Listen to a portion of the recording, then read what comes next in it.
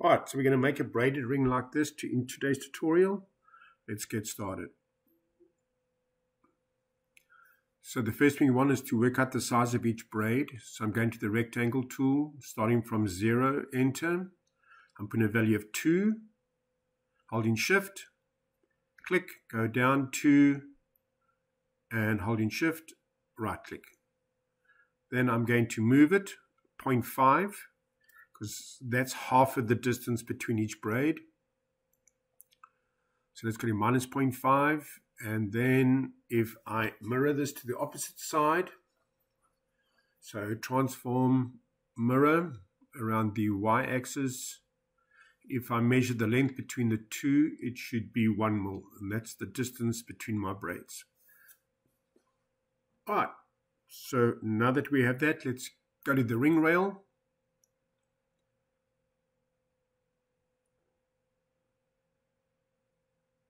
let's make this USA size 7. Now look at the, the length of that line is 54.452. If I don't remember that, I can always retype in length. And then I can copy that number. And starting from a line, starting from 0, enter, I can then paste that length back in Holding shift, I can right click and that'll give me a line exactly that length. Okay, so let's move this line to the middle of our box. And actually, I should have made a copy of this first. So let's just undo this.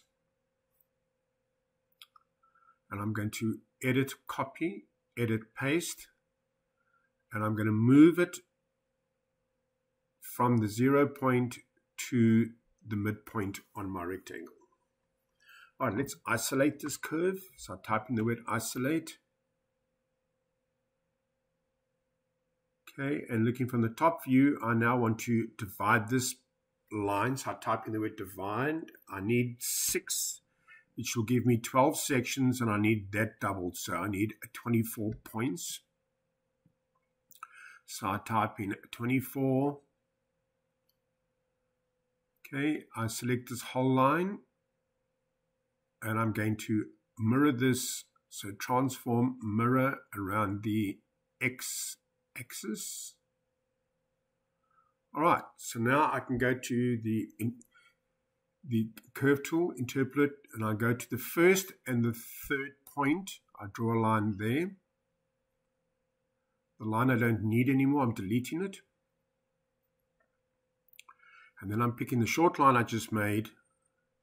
I'm grabbing the points and I'm going to move the last point down to the point underneath it.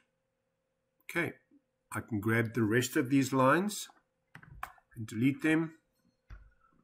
And then the line at the bottom I don't need either. I'm deleting that as well. All right.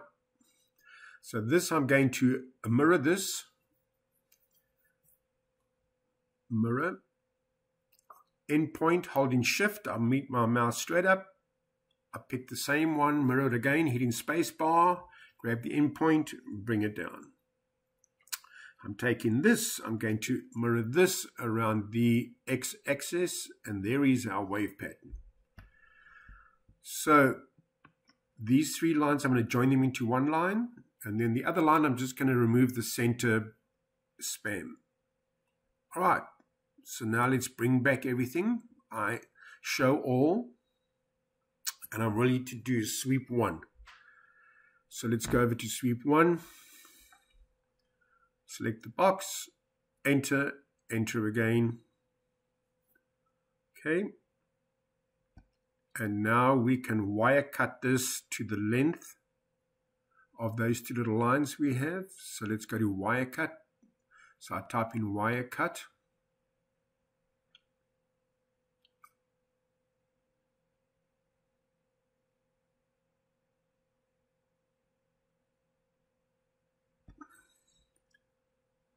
Cut, I pick the line, enter, enter again. And the reason why it disappeared is because the shape is hollow or empty. I need to cap it. So I'm going to pick the whole shape, type in the word cap, to turn it into a solid. Okay, and now we can wire cut again.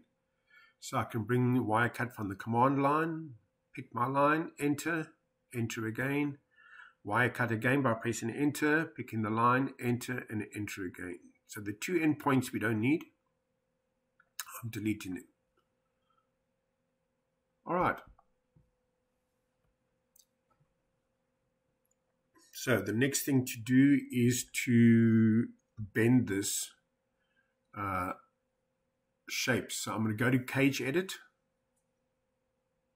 and I want a bounding box, enter, and then I'm going to make sure my point counts are at five. So I want five, type in five, enter, and my Y count to be, or my X count five and enter, and then enter again.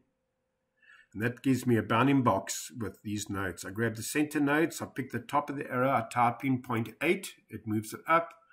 I grab the end nodes on each side, and I push in minus 0.8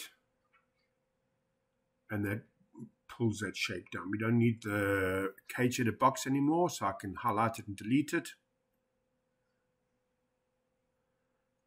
Okay, and we are ready to flow this shape um, around our ring finger size. So transform, flow along curve. I pick the end point of our line, and then I pick the left side of the circle. All right, so I want to trim the inside of our part we just made away. So I'm going to hide, uh, select that, go to wire cut. Oh wait, no, I need to, I hit that. Let's bring that back again. So wire cut. Pick the line, enter, enter. Okay, let's delete that. And now I can array polar. Let's select this. Let's hide everything else away. And now transform array polar. I need a total of 12 sections. So I type in 12, enter, enter. All right, and there we go simple braid. The next tutorial I'll do will show you how to add stones or gemstones onto this. So let's boolean them all together to make sure it closes as one piece. It's done that and it's ready to print. All right. Thank you. I hope you enjoyed this short editorial.